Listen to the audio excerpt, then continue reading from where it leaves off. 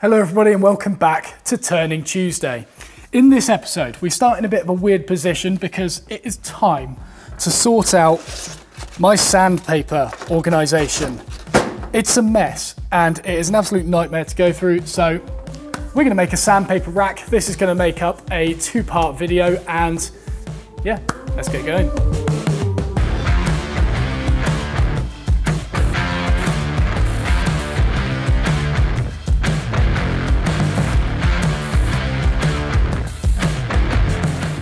So in this video, we're going to make the, obviously the round part of the sandpaper rack, and that is going to be a big long spindle with thinner sections to hold the sandpaper and then kind of fatter sections on it to stop them sliding across the whole bar. There's also going to be a join in the middle of it because my lathe isn't long enough to accommodate the length of this. And then there's going to be some like end details on it as well. So it should be interesting getting into some spindle turning again. The second part of this video is going to be focused on making the, um, the thing that holds the spindle in place. And yes, don't worry, I am going to dovetail it.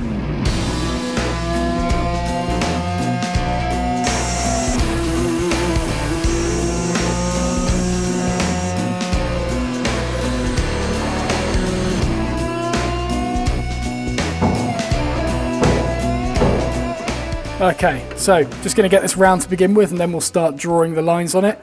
This is where I wish that I picked up that longer tool rest, isn't it? And yes, the mask still smells of this stuff.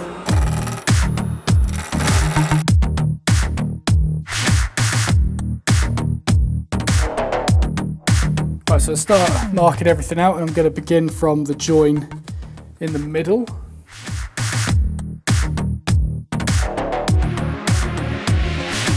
Right, so I cut this half oversized to allow myself extra room to put the details on the end but I've ended up getting a lot more material on the end than I thought, so I'm going to scrape all this off and shift it up a bit so that I can get a larger tenon on the end here.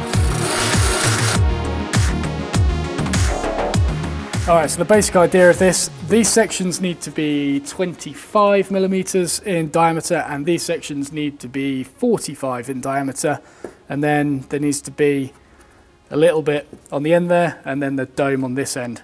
So it's not particularly exciting stuff. I think it will look cooler in a time lapse just seeing stuff dug out of this. So that is what we're going to do.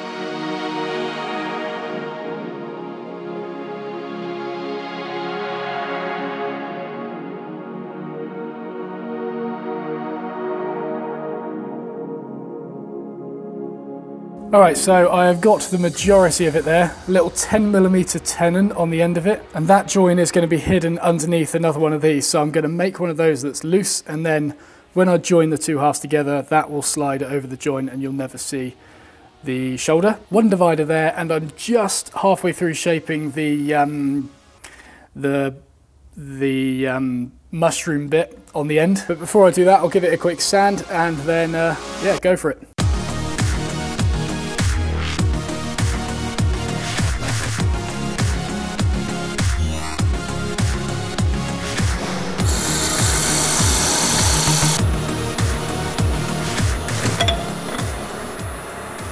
Lovely.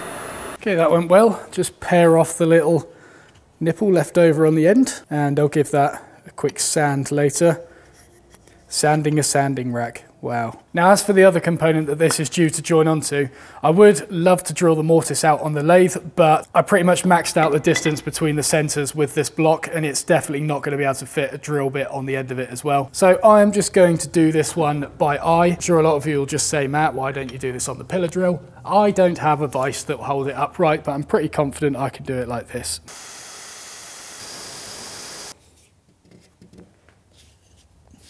There we go. Lovely fit. So now this part can go on the lathe. And I guess I've just got to make sure I don't put too much pressure on the tailstock because I don't really want to split that hole, or should I say, split the entire component.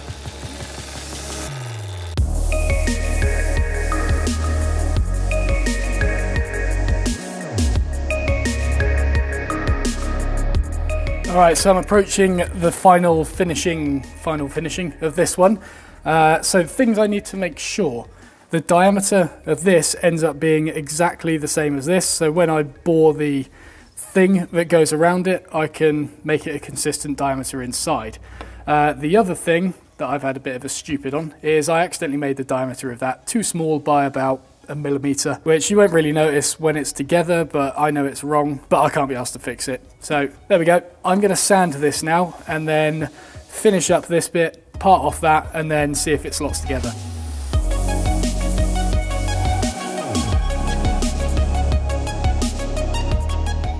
Well, that's incredibly challenging to get two domes to look the same. that is nowhere near.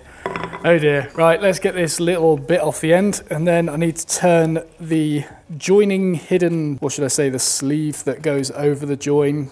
I don't know what we're calling it at this point. But yes, I definitely need to work on getting things more consistent when turning. That is just terrible. That is terrible. But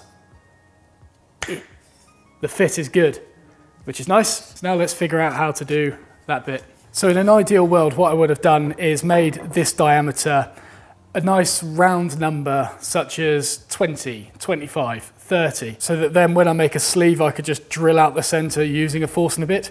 However, I decided to try and make this 25, but then accidentally made it 24, and then sanded it afterwards, so now it is 23. So when I make the sleeve to fit over it, I'm gonna have to hollow it out with something to create that internal diameter. And even better, the gripper jaws that I was hoping, come on, to hold this with are not the right diameter. They don't quite close enough to clamp this. So I am going to have to use the pen jaws for this job. I'm going to turn it round first and it's not going to be a whole lot of work to try and get that center out, so I'm not too worried about it. I'm pretty sure these will do the job. I think they will. I don't know.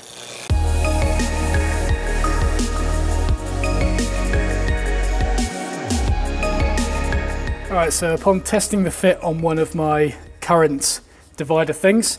This section here, of course, got a bit too small, but I've got a nice section here that is the exact diameter I want. So if I part it off there, get rid of this bit, and then I'll start boring out that bit to become my sleeve. So then in theory, if I do that, tighten it down, then I can measure the bore using these ends of the calipers and that should be a nice tight fit around here, hopefully. I'm going to keep saying hopefully because it means nothing is certain and therefore you can't be disappointed in it.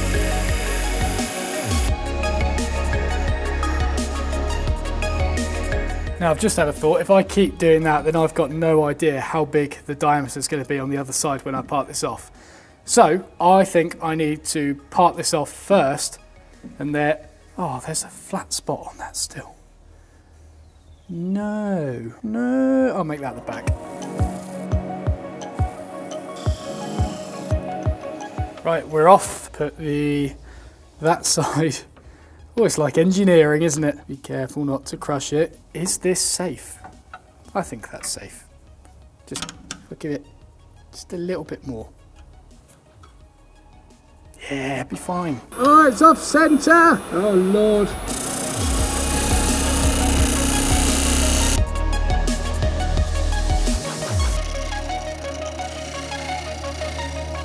Right, and here we go. Uh, eh, eh. Could have just bought a longer lathe, but that is satisfying. That is very satisfying. So essentially, if you can't already tell by this point, the idea of this is to put various sandpapers on here. That'll all slot together with that internal divider on it. That's all right, providing the sandpaper behaves itself like this. Now we'll pop a little bit of glue on it, a little bit inside the mortise, and then a bit round the shoulder as well. Hopefully this won't be as tight as it was on the mallet this time.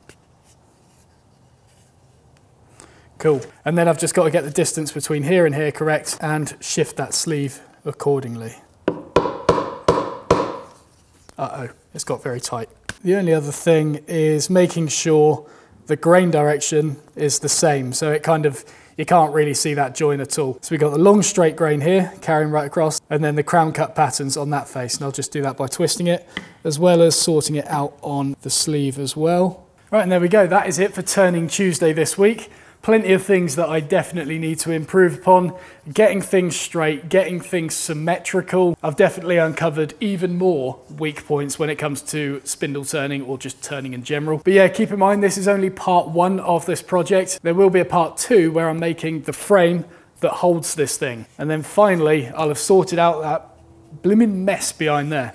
So thank you very much for watching this video. I hope you enjoyed it. Don't forget to like and subscribe. I promise I'm not being threatening by doing this. But yeah, like and subscribe if you haven't already, and I will see you in the next video.